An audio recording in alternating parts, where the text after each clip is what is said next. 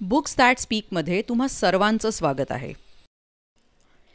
फिरत्या चाकावरती देसी मातीला आकार विठ्ठला तू वेडा कुंभार. मनूचे वडील आणि आजोबा कुंभारकाम करतात. मनूही ही कला शिकतो आहे. कुंभारांच्या जगण्यातले छोटे मोठे आनंद माती आणण्यापासून ते भांडी करण्यापर्यंत आणि शहरातल्या बाजारात जाऊन ती विकण्यापर्यंत करावे लागणारे कष्ट यांचे वेधक चित्रण या सुंदर कथेत ऐकायला मिळतं. बुलबुल शर्मा यांच्या या मोहक गोष्टीला शांती देवींनी मधुबनी शैलीतली चित्रं काढली आहेत. तर चला ऐकूया गोष्ट मनूच्या आनंदाचा घडा. Original story Manu mixes clay and sunshine by Dastkari Haat Samiti. गोष्ट लिहिली आहे बुलबुल शर्मा. चित्रांकन शांती देवी. मराठीत अनुवाद संध्या टाकसाळे. प्रथम बुकसाठी. गोष्ट वाचली आहे आसावरी दोशी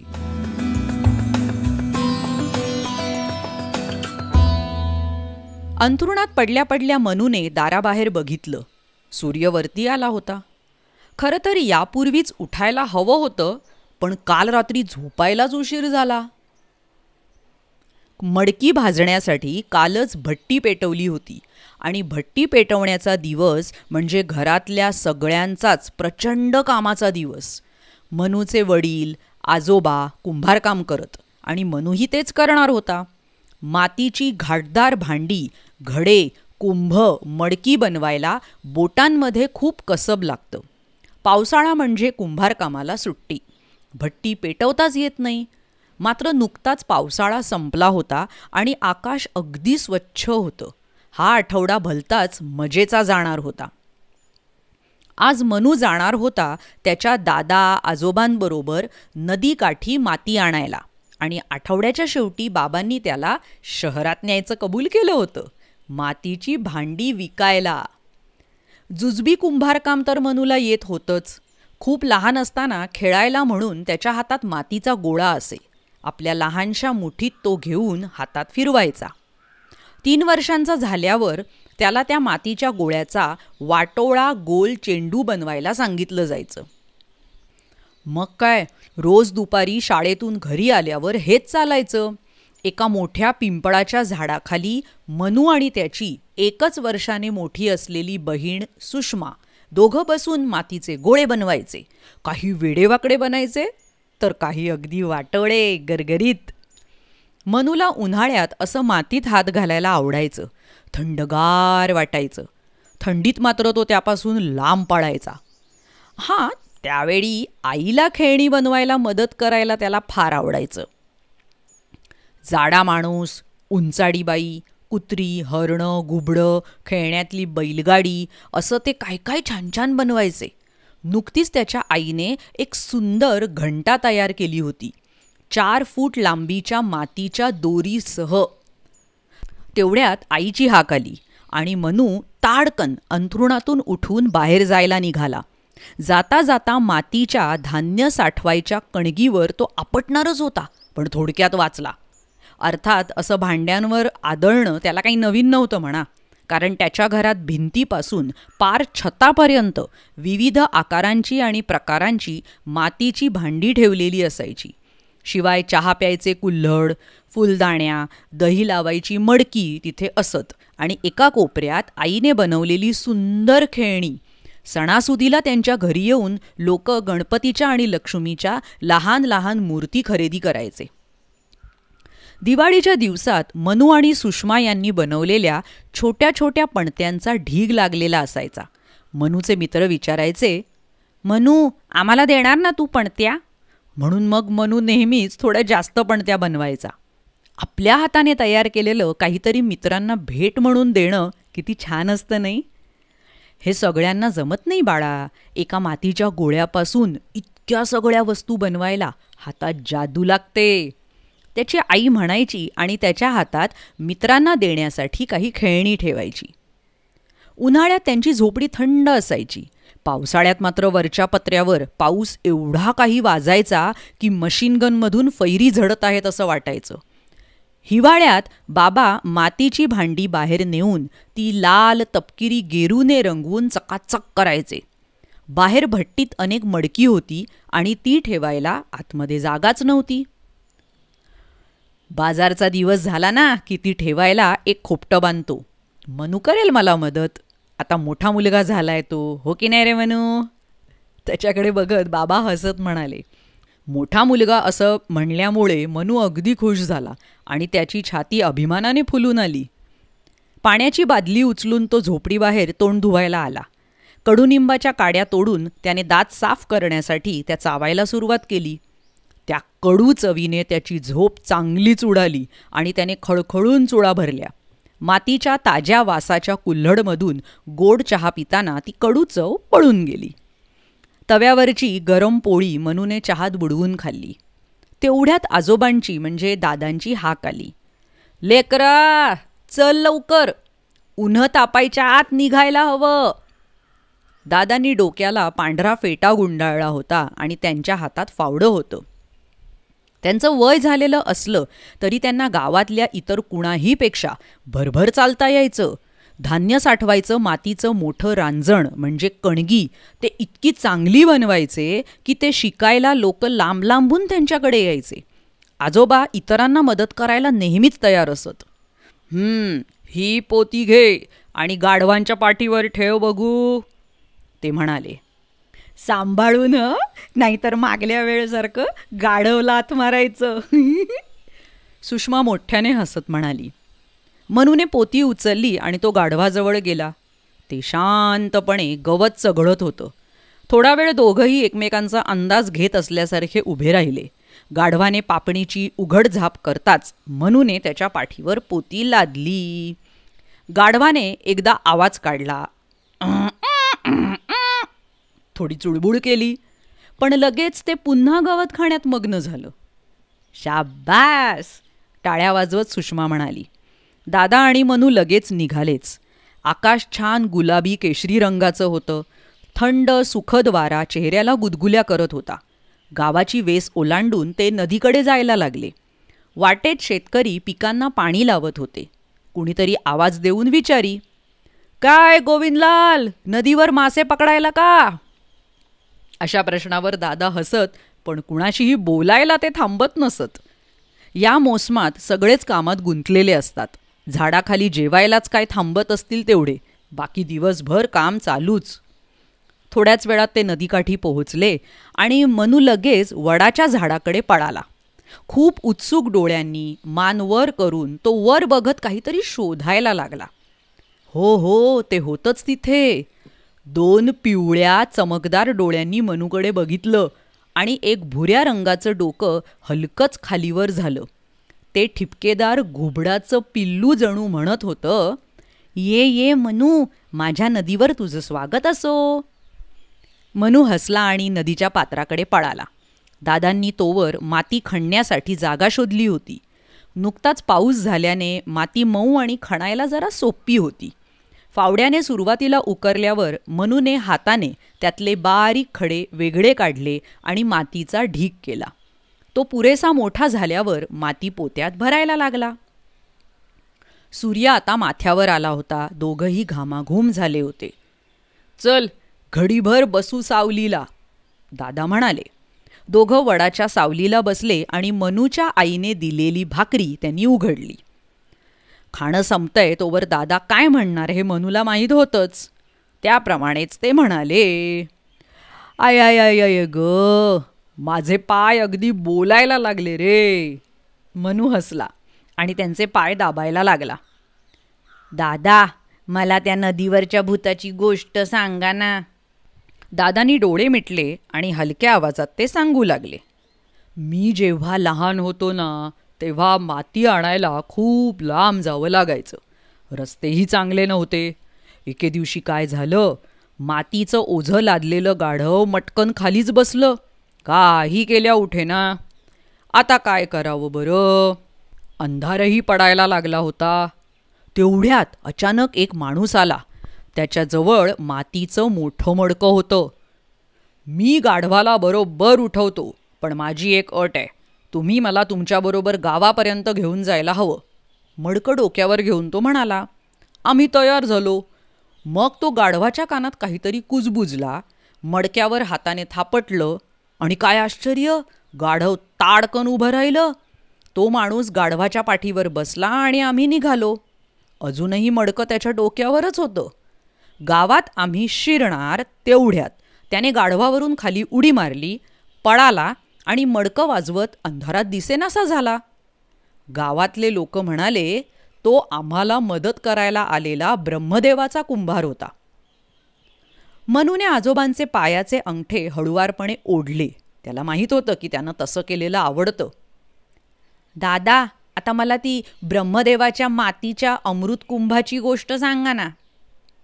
अरे चोरा. एक डोळा हळूच उघडून आजोबा म्हणाले. किती वेळा ही गोष्ट ऐकलीस? आज तू सांग. मी डोळे मिटून ऐकतो. मनूने सांगायला सुरुवात केली. जरा मोठ्याच आवाजात हेतू हा की त्या घुबडाच्या पिल्लाला ही गोष्ट ऐकू यावी. एकदा देव आणि दानव म्हणजे राक्षस यांनी ठरवलं की दूध सागराचं मंथन करायचं. त्यांना अमृत हवं होतं ना म्हणून. त्यांनी एका लांब सापाची दोरी केली आणि एक मोठं कासव बनलं रवीचा दांडा. घुसळायला सुरुवात झाली आणि कित्येक वर्ष हे चालूच राहिलं.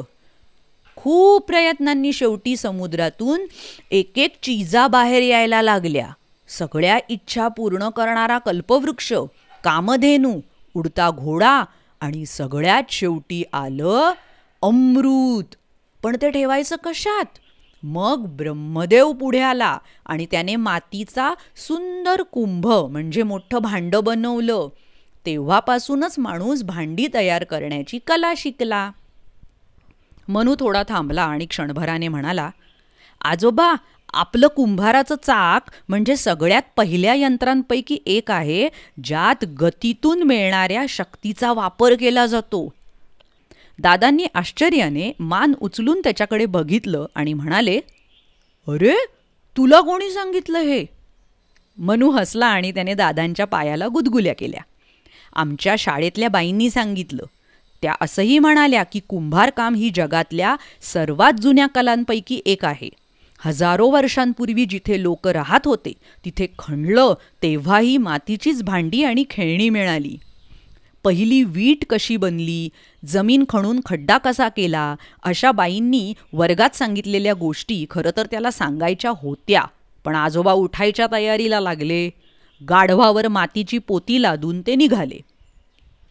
जाताना मनूने पुन्हा घुबडाच्या पिल्लाकडे पाहिलं तेव्हा त्याने दोनदा डोळे मिचकावले. जणू काही म्हणत होतं खूप माती आहे इथे अजून लवकर ये परत. दुसऱ्या दिवशी शाळेतून परतल्यावर मातीतली ढेकळं फोडायला मनूने बाबांना मदत केली. नंतर ही माती एका मोठ्या चाळणीने चाळून त्यातले खडे बाजूला केले जातील. त्यानंतर त्याचे आईबाबा पाणी घालून ती माती चांगली मळतील. कधीकधी ती पायाने तुडवून मऊ करण्यासाठी सुषमा आणि मनू त्यात उड्या मारायचे. त्या चिखलात उडी मारली की चुबुक असा मजेशीर आवाज यायचा. त्याची मनूला अगदी गंमत वाटायची. मडकी बनवण्यासाठी माती नीट मळली गेली आहे ना? हे बाबा वारंवार हात लावून बघायचे. मग या तयार मातीचे मोठे मोठे गोळे करून ते ओल्या पोत्याखाली ठेवायचे. या मळलेल्या मातीतून रोज दादा आणि बाबा लहान गोळे तयार करून ते चाकावर ठेवत. चाक फिरायला लागे आणि अवघ्या काही क्षणात जादू झाल्यासारखं भांडं मडकं आकाराला येई. आत्ता तर तिथे होता मातीचा गोळा. आणि आता बघितलं तर हे एक छान भांड. मनू चाकावरचं काम शिकत तर होता पण अजून इतकी सफाई त्यात आली नव्हती. त्याने केलेल्या भांड्यांची कधी मानच लांब व्हायची कधी एका बाजूचा आकार बिघडायचा कधी ती बुडावर नीट न बसता कोलमडून पडायची. सुषमाला मात्र मातीची सापासारखी लांब दोरी वळून ती पटकन गुंडाळत झक्कास भांडं करता यायचं.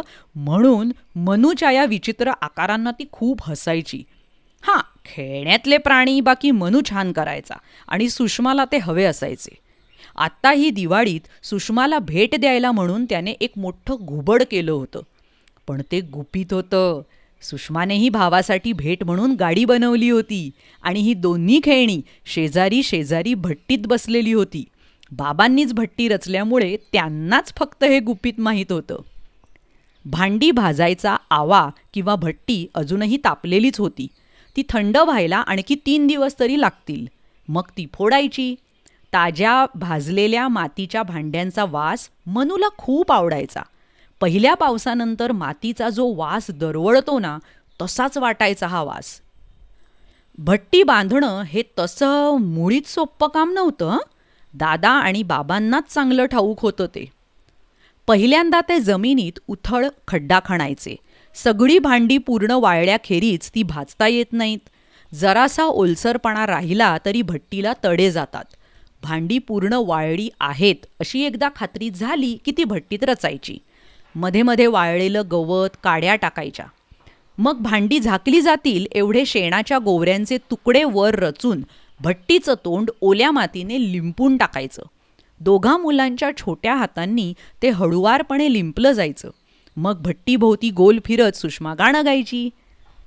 मडकी भाजून निघू दे निघू दे.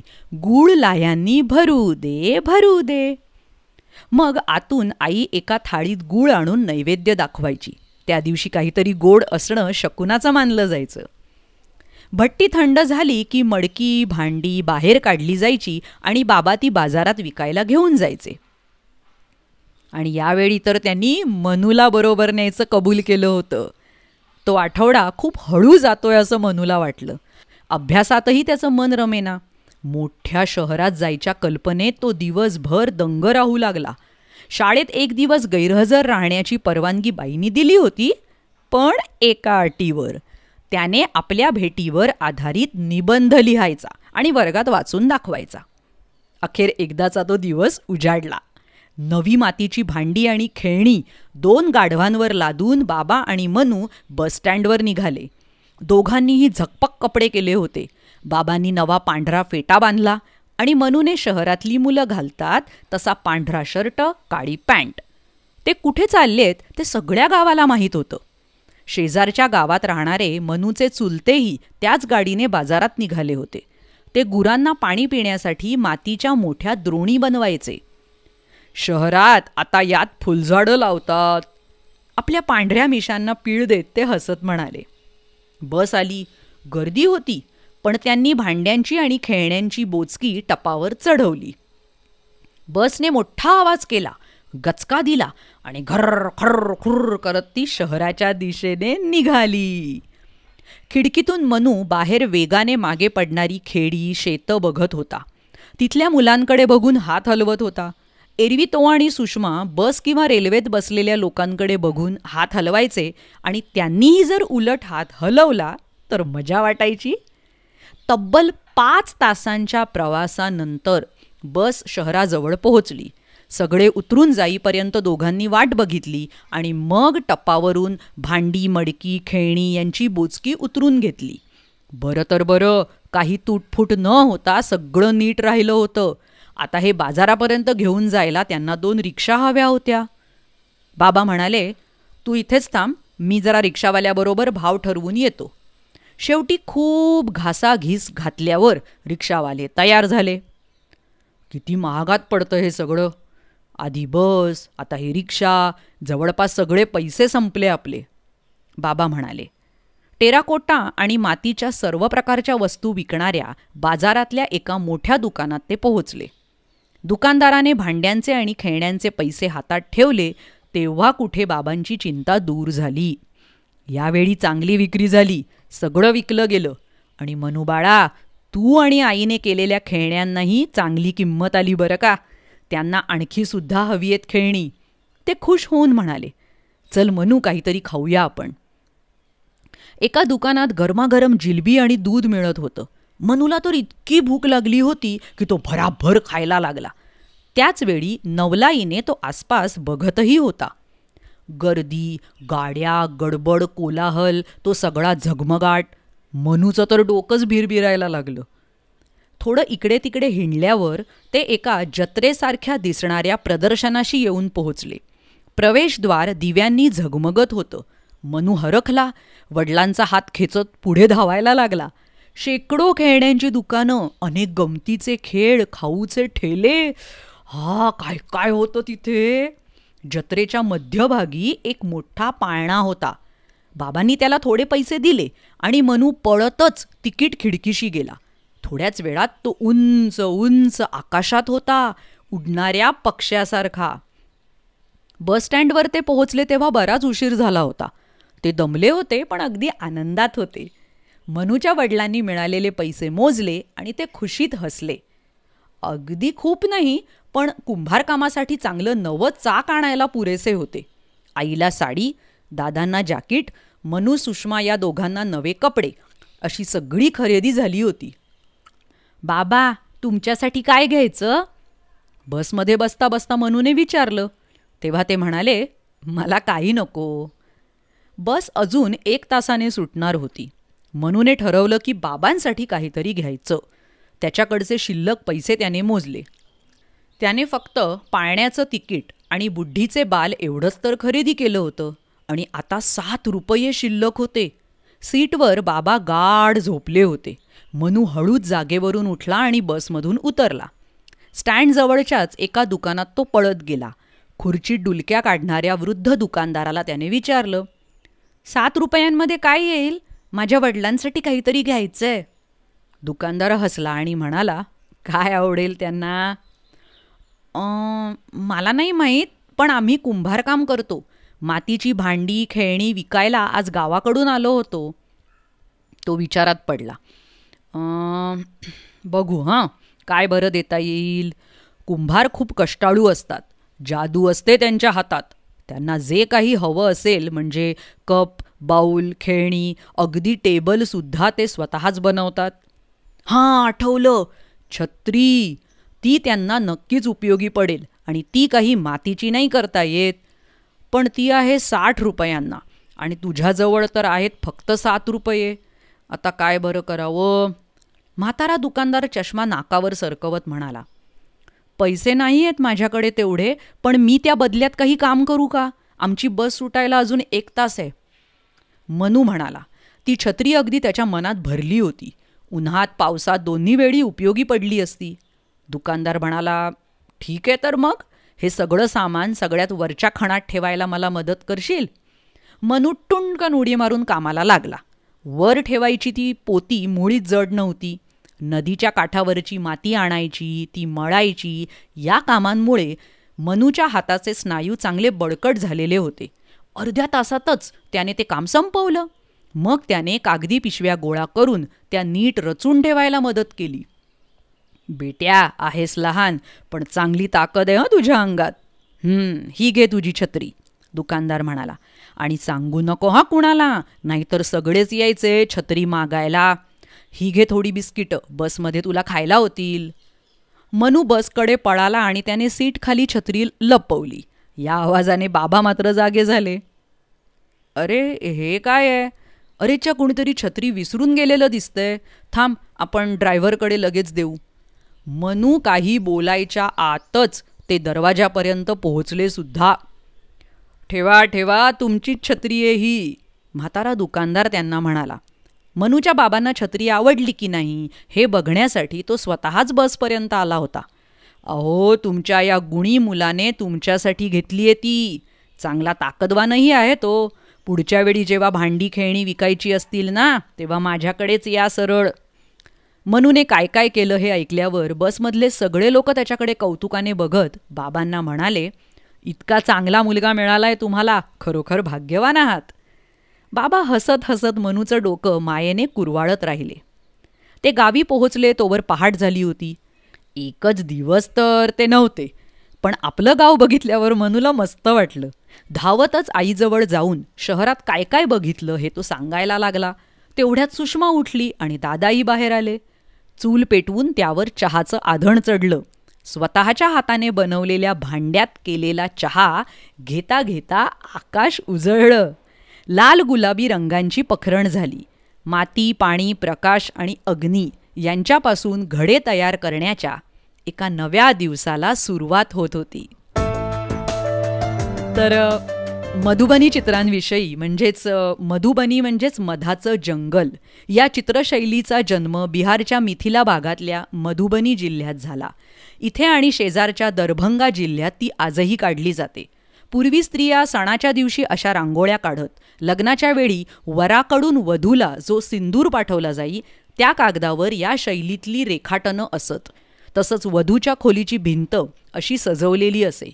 प्रत्येक समूहाची म्हणून खास आपली शैली असली तरीही देवदेवता पुराण काळातील प्राणी आणि वृक्ष महाकाव्यांचे नायक नायिका आणि स्त्री पुरुष समृद्धीची प्रतीकं शेती सृजन या गोष्टींमधून सगळ्यांनीच प्रेरणा घेतलेली दिसते. कशी वाटली ही आजची गोष्ट? लोककलेविषयीच्या अशा अनेक गोष्टी ऐकण्यासाठी बुक्स दॅट स्पीक या आमच्या चॅनलला जरूर भेट द्या. हा आमचा चॅनल यूट्यूब आणि वेगवेगळ्या पॉडकास्टिंग चॅनल्सवर अवेलेबल आहे. आमची वेबसाईट आहे W W W dot books that speak dot com. चला भेटूया मग. पुढच्या गोष्टीमध्ये. तोपर्यंत बाय बाय. धन्यवाद.